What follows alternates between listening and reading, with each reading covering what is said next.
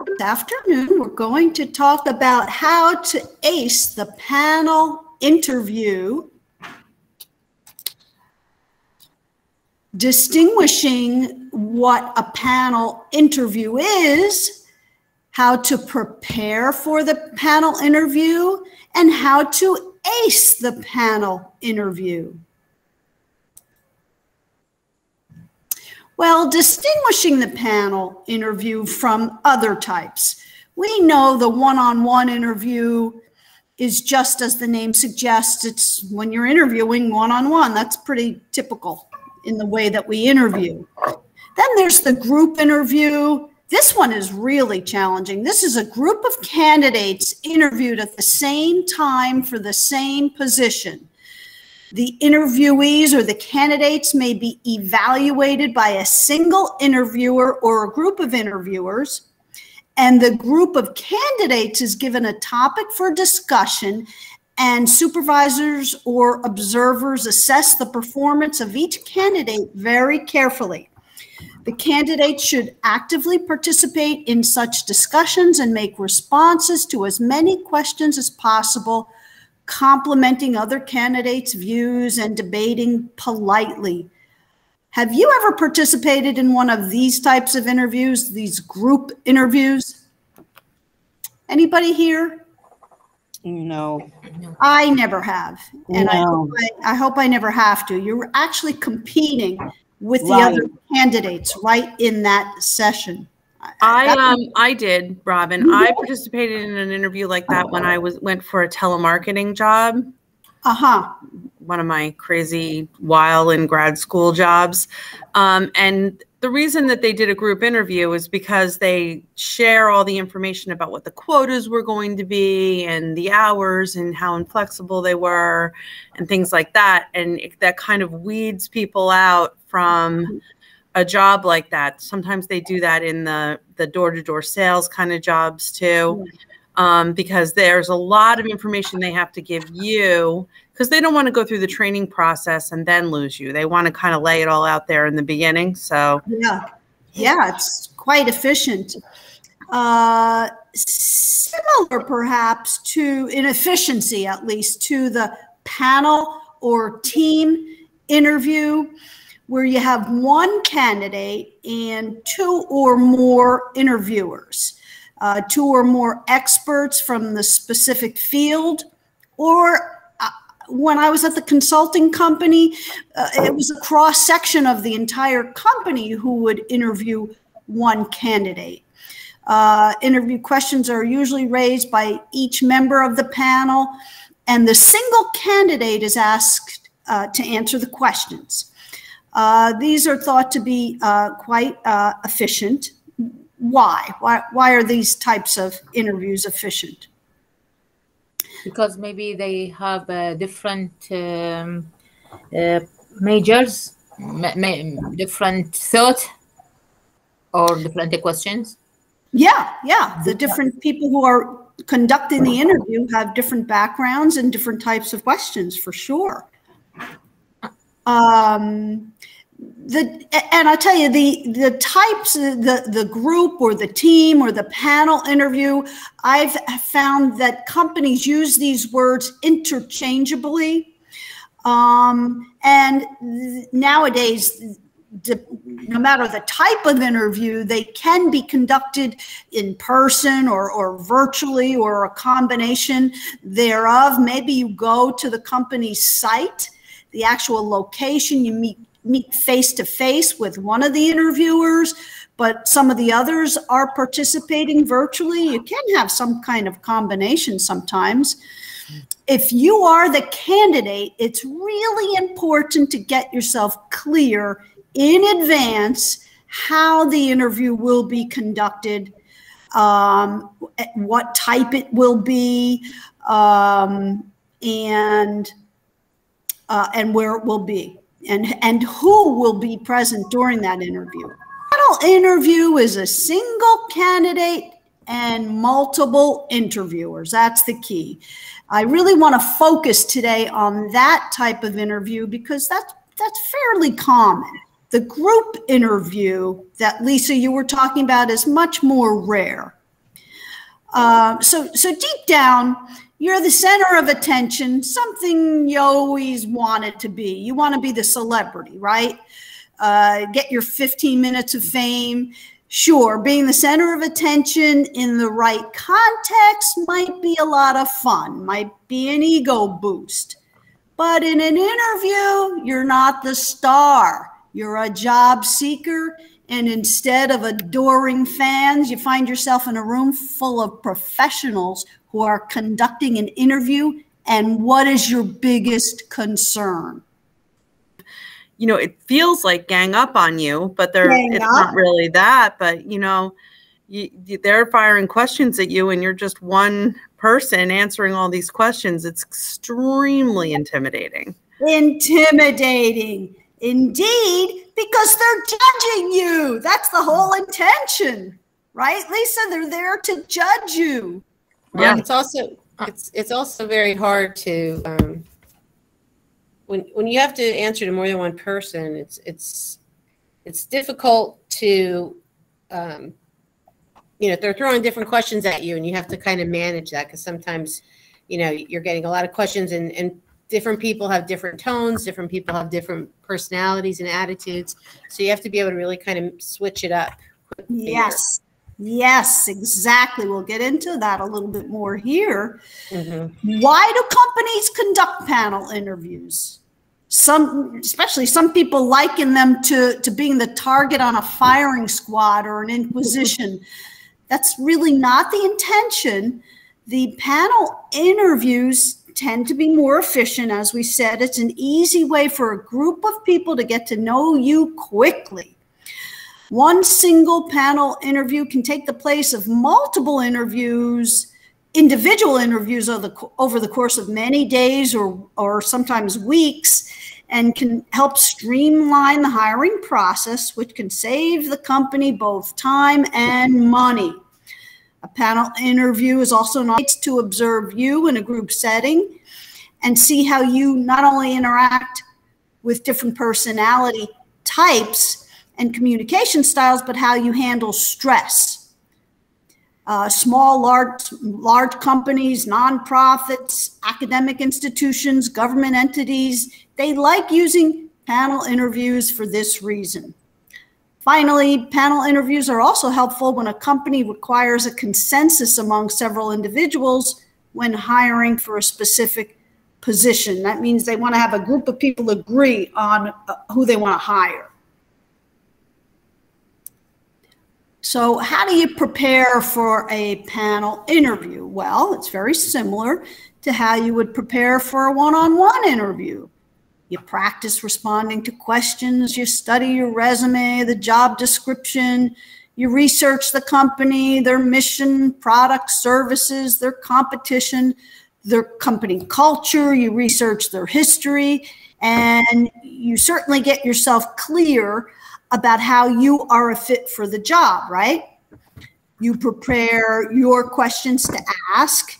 You prepare your outfit. You make sure you know the location, the, the commute. You've got your folder already with extra copies of your resume and your credentials, samples of your work. Um, you do all the things you do for any other interview, one on one interview.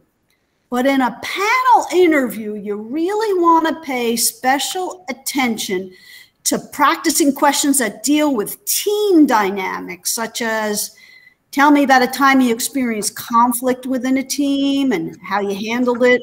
How do you handle criticism, especially on an important team project? Tell about how you handled a project that failed. How do you handle multiple project priorities?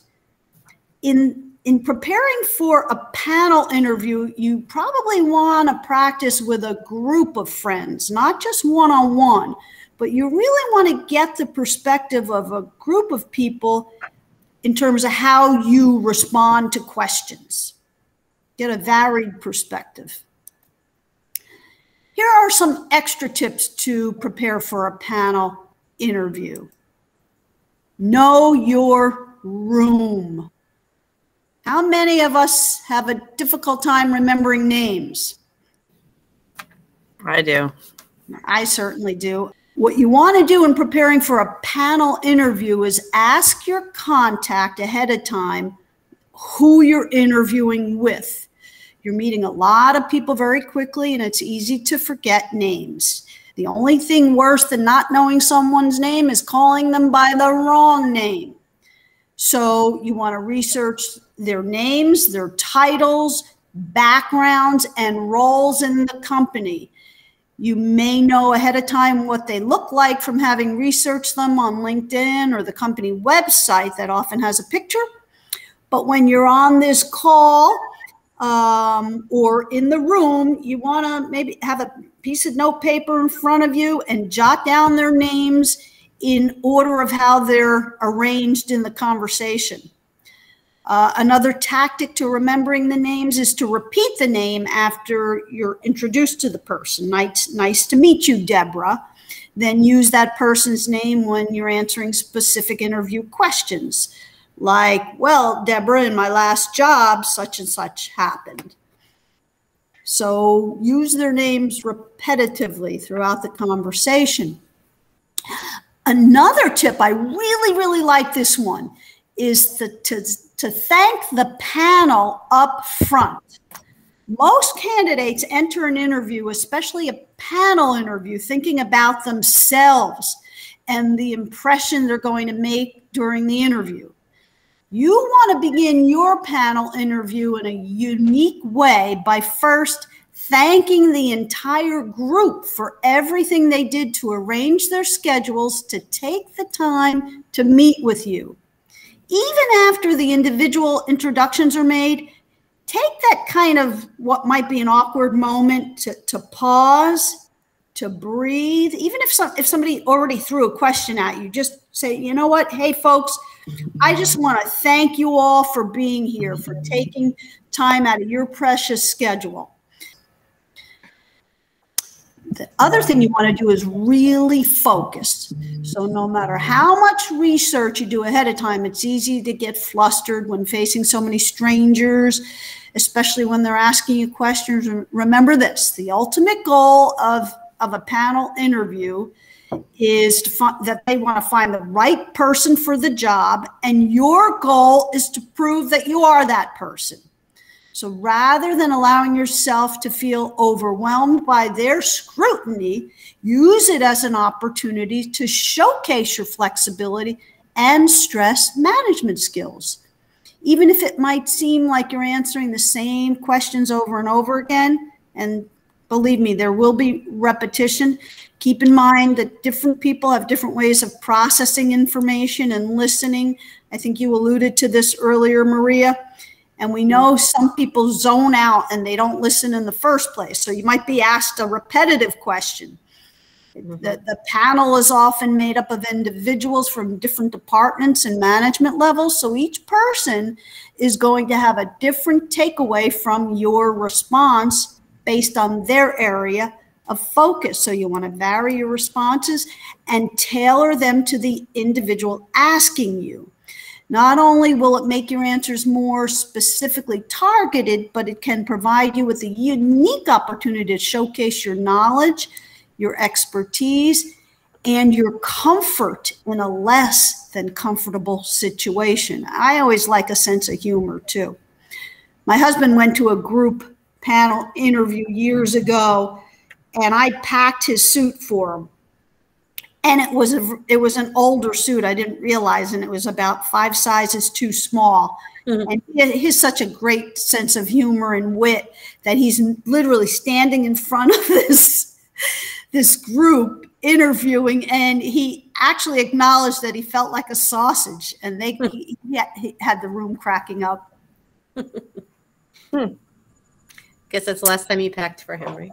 Yes Next, you want to manage grace under pressure. So while you might feel like you're a bug under a magnifying glass, you don't want to act like one in a panel interview.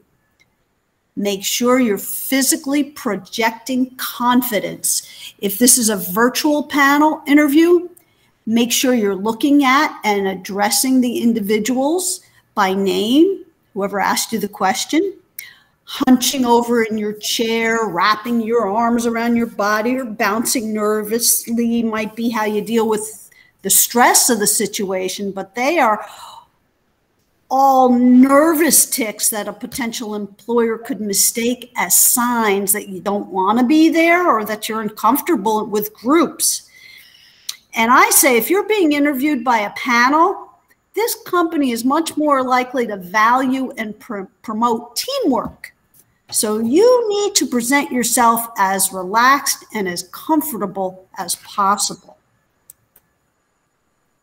Uh, similarly, managing stress and your thoughtfulness. Panel interviews have a reputation of feeling like uh, a bit like you're being uh, in front of a firing squad because you're being interviewed by a number of people and they're all competing with, with each other and trying to get their questions answered within a limited amount of time. And it can be a little overwhelming while you might be facing a lot of questions all at once in a panel, there's no prize for answering them the fastest. In a way, it's up to you to control the speed of the interview. Take your time to formulate your responses, not too much time, but take a breath. You're not there to impress them with your speed. You're there to impress them with your knowledge and your skills. So before you answer any question, take a breath and tailor what you're about to say to whomever asked it. Keep your answers brief and focused. What are some things that you do during an interview to keep you calm? I try to control my breathing a little bit. You know, try to, try to do slow breaths while they're talking. Um, you know, without without doing any kind of deep breathing that's noticeable, but just try Right. to like Right. slow my breathing down. right? I try to sit up, kind of just like stay stay focused, keep my head in the conversation and really listen to the Yeah. question and, and the comments that are coming back from the interviewers. Really keep your your focus on the game and certainly breathe. Some mistakes to avoid being interviewed under any circumstance can be stressful. And when you're in a panel, that stress is multiplied by the number of people asking you the questions. So the added stress means it's even easier to slip up and make uh, mistakes, including not being prepared. Oh, the screener or the first interviewer like me, so I'm in. I, I don't need to prepare. Not. You must prepare. Uh, not being calm, we talked about that. Um, people are firing questions at you, can feel a bit like an attack. But you have to make sure, no matter what, that you control your emotions and consider your answers before you speak. It's possible that whoever's interviewing you is intentionally trying to rile you up so they can see how you react under pressure. So you want to stay calm and cool and collected. And don't forget, this this works really well, to say thank you for asking, even if it was a really tricky, difficult question. Another uh, mistake people make is not being your, yourself. You always want to present your best self when going in an interview, but you also want to make sure you're being authentic putting forth a personality that isn't you and isn't your own is a dangerous game to play and can actually end up biting you in the end. An employer wants to know the person they're interviewing is the person they might be hiring. So pretending to be someone you're not just to impress them in the short run is really going to hurt you in the long run anyway. So be yourself. Some other mistakes. What's that? I'm laughing at the photo. Yes, some other mistakes to avoid. I, I intentionally put that there for that reason. I thought it was really cute. Um, you go to the interview and you didn't bring enough copies of your resume. Ooh. Ask ahead of time how many people will be there and make sure you have extras because you don't, you never know how many extra people might show up. What the, uh, I have a question, please. Yes. What if the uh, if the interview is online or uh, virtual? How can I share with them the resume or anything else? That is an excellent question. So what I would do is uh, make sure that the your contact, the person who uh, with the company, whether it's the screener or the recruiter or the secretary or receptionist, whoever set that interview up with you, that you have sent her your resume and requested that she be sure that the people who are participating in that interview have it in front of them. So I should ask the interviewer to share my document with the other with others Absolutely. uh, in advance before the in advance, yes. Yeah. In advance, yes. Okay.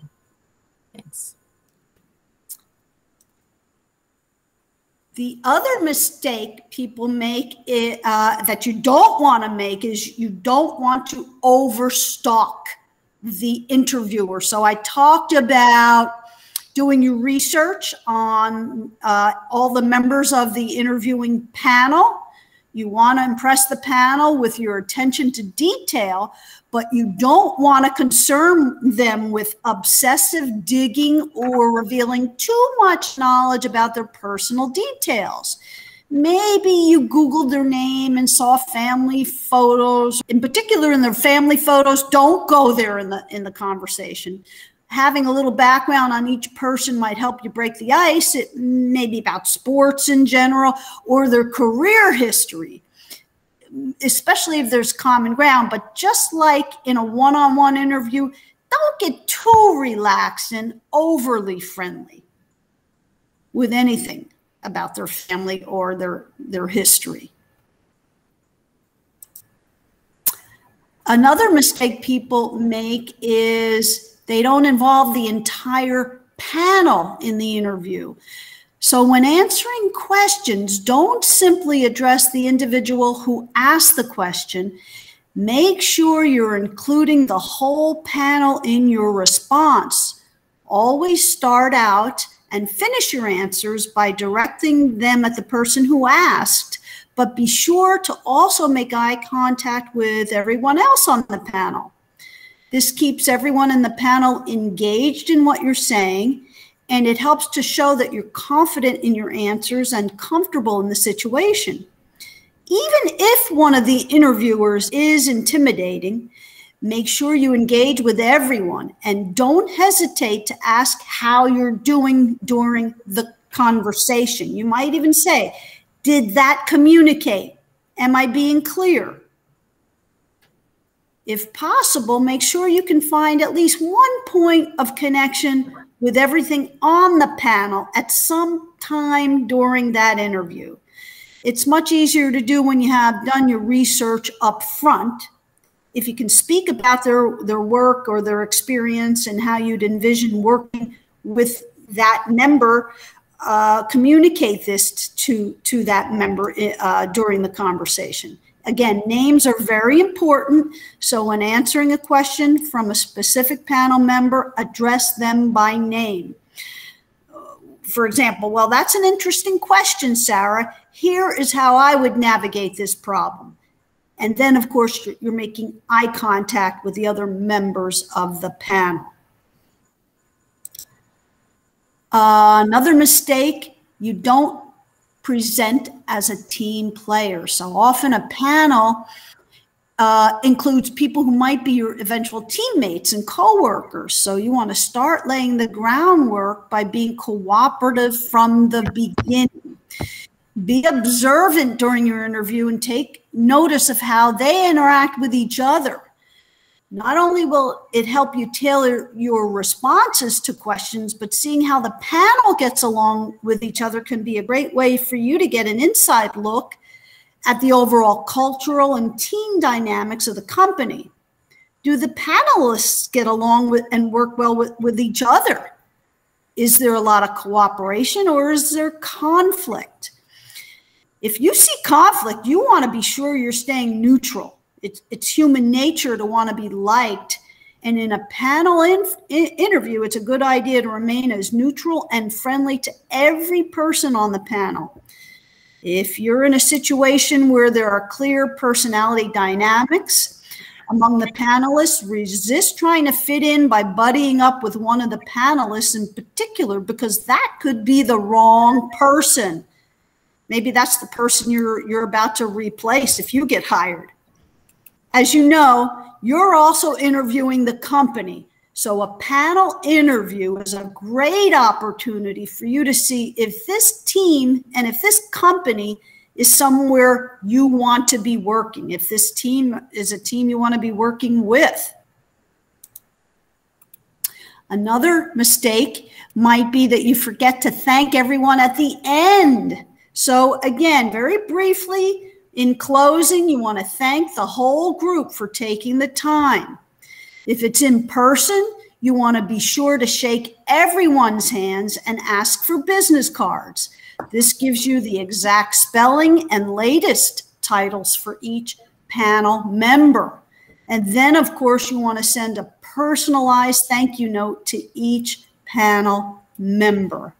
Let me ask it that way. Who can distinguish a panel interview from a group or a one on one interview? What's the difference in a panel interview? Uh, multiple interviewers with one person being interviewed. Yes, very good. What are at least one or two things you would do differently to prepare for a panel interview? Be patient more and uh, control your uh, uh, self or your breathe. Uh, try to breathe. Take more breathe to be more uh, patient, more calm. I mean, Right. Absolutely. Be extra patient. Be, focus on their questions. Yes, Don't excellent. hesitate uh, when you answer your their questions. Yes, time, but not that long time. Just uh, the enough time to answer clearly their questions. yes, very good. Make sure that you uh, know everybody's name. Yeah. Yes, Okay. Uh, thank them at the beginning uh, and at the end of the interview. excellent. Very, very good. What are some things that you might have learned today that you might do differently to ace your next panel interview? Make sure that you thank everybody for taking the time to be there to interview you. Which Yes. I, I would have never thought of. I would always, as you say, do it be you saying to do it beforehand, and I always did it afterwards. So definitely I would do it beforehand now. Yeah, and, and I and I would say, uh, Joyce, beforehand and afterwards as well. Okay. All Yeah. right. Excellent. Yeah. Yeah. Also, Other- Other thoughts or questions or comments? I was, what- I yeah. was just going to say, you know, also remember to be mindful of the fact that under certain circumstances, depending on the type of job, as you said, there might be, it might be, they might be trying to see how you respond under pressure um, or under a stressful situation by throwing questions at you or um, questioning an answer you gave to someone else on the panel. So reminding yourself to take deep breath, remain um, pleasant and, and calm, and don't appear annoyed when if that happens. I I, I had a, a client one time who told me that he kind of fell into that trap. He was on a panel interview, and and the um, there was one person who just kept barking questions at him as he was trying to answer someone else's questions. And he was he would you know was trying to open start answering the question and the guy just kept barking at him barking at him. And finally he just kind of snapped and said, "If you wait one minute, I will get to your question." Ooh. And he said, as soon as he did it, he realized that he fell into the trap and that you know it wasn't going to be. You know, they they got what they wanted. They wanted to see how he was going to react in a stressful situation, and he he blew it. So wow, he blew it. Wow. So to Rawa's point, you need to elevate your level of patience right, absolutely. because they may be doing that deliberately Mhm. to see if they can rile you. Yep. during Especially like a sales job or like a job where there's a lot of think working with with kids in schools help uh, help a lot uh, to be more patient. Yeah. Because uh, yeah, That's a very, very uh, necessary quality and skill Yeah. that you must have working in a school system. yeah, uh, specifically with this with kids uh, with the small ages of kids, so they need more patience. Yes. Yeah. And, and Rawa, I was on an interview where uh, in a uh, grammar school system, Yeah. and I was conducting a math lesson for a sixth grade class. Only the students weren't the students, they were the other teachers and administration. And they were deliberately acting like really bad students and giving me the hardest time ever Yeah. and wanting to see how I would react. Yeah, it was v- probably my most challenging interview of all time. I'm so sorry. So, Not at all. Go ahead, Ra- Rawa. Just the middle school need more uh, experience to handle the hard, harder, hard people. I mean, hard students. Yeah. Yes. Yeah. But others, I think it's okay. All right. Any other final thoughts, comments? This was great. yeah. All right, folks. Well, thank you for your time today and and uh, arranging your schedules to be here. You're Have a welcome. great, uh, have a great rest rest of the afternoon. All right. Thank you. Thank you. Bye. Have a good Bye-bye. time. Bye.